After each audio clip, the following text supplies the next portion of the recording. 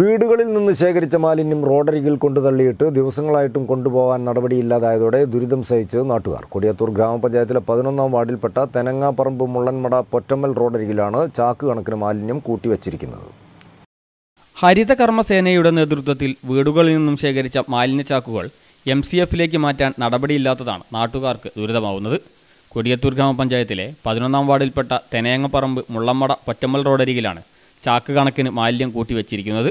മഴ നനഞ്ഞും മാലിന്യം ചീഞ്ഞളിഞ്ഞും കാക്കകളും മറ്റും കൊത്തിവലിച്ചും വലിയ ദുരിതമാണ് നാട്ടുകാർക്ക്.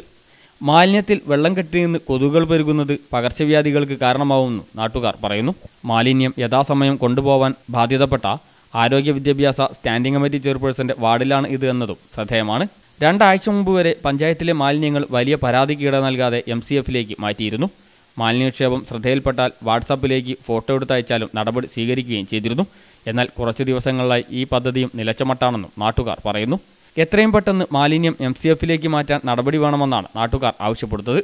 വിദ്യാർത്ഥികൾ ഉൾപ്പെടെ നിരവധി യാത്രക്കാരും ആരാധനാലയങ്ങളിലേക്കുൾപ്പെടെ നിരവധി പേരും യാത്ര ചെയ്യുന്ന പ്രധാന റോഡരിയിലാണ് അധികൃതരുടെ അനാസ്ഥയുടെ ഉദാഹരണമായി ഈ മാലിന്യ കൂമ്പാരം. സി പ്രാദേശിക വാർത്ത മുഖം